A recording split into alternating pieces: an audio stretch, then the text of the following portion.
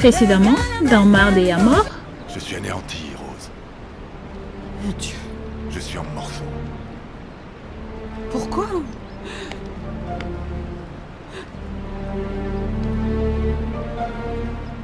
Ah, ma petite étoile de mer.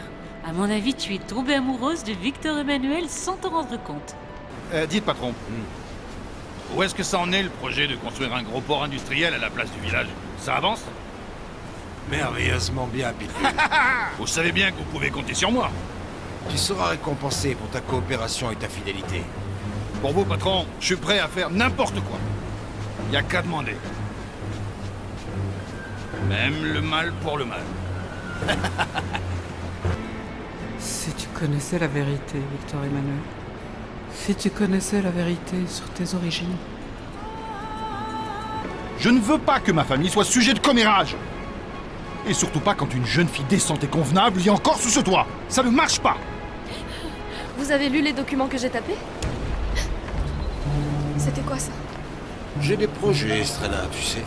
Un jour, dans un futur proche, ce petit bourg sera une ville importante grâce à moi. Et tu pourras rester à mes côtés comme... euh, Eh bon d'accord, moi je dois y aller maintenant, mais il me faut les... les... les documents, voilà, pour votre fille Oriana. Merci Je ne veux plus jamais le revoir Je ne veux plus jamais le revoir Voilà ce qui se passe T'es content? Alors fous-moi la paix maintenant Clémentine Tout ça, c'est de ta faute. Il a toujours fallu que tu sois de son côté. Oh, mais Tu dois protéger ta fille. Tu dois en prendre soin. Les filles, il faut veiller sur elles parce que. Parce que le diable ne leur fait pas de cadeaux.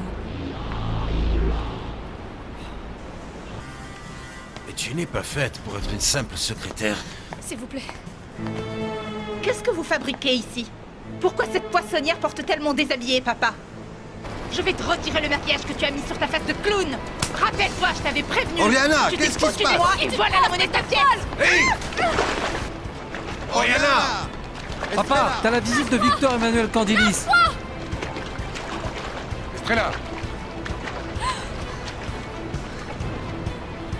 Franchement, j'ai pas compris. Allez. Ah merde Ah pas Ça va, ça va, arrête maintenant, Oriana. Calme-toi, s'il te plaît. Je me calme Allez, Aidez-moi arrête ce scandale.